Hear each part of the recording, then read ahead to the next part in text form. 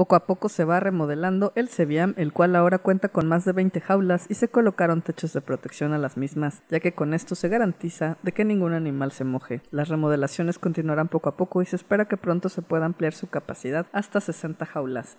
Con, apoyo de algunas hoteleros este, y de otras personas se han modificado en los pasillos, se les ha puesto techo ya un techo semifijo, se nos ha dotado de grava para poner todo el, todo el frente del Ceviam, nos han dotado de pintura para hacer este, pintar las jaulas dentro de las instalaciones y aún hay más, este, más proyectos que posteriormente les estaremos avisando como en, las mejoras. Perfecto. Entonces ahorita el Ceviam tiene capacidad para cuántos animales? Este, se cuenta hasta el momento con 25 jaulas.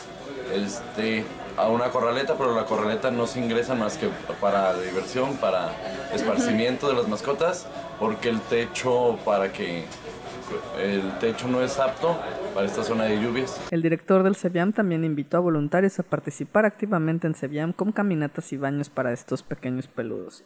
Está yendo un grupo de voluntarios este, a las instalaciones todos los días, ayudarnos a pasear animales y darles un baño cualquier persona que, interese, que guste y que tenga ese amor, esa disposición por los animales, pues los esperamos. Los, los, horarios para voluntarios son a partir de las 11 de la mañana hasta las 4 de la tarde de lunes a viernes. Para Notivisión, Perla Martínez.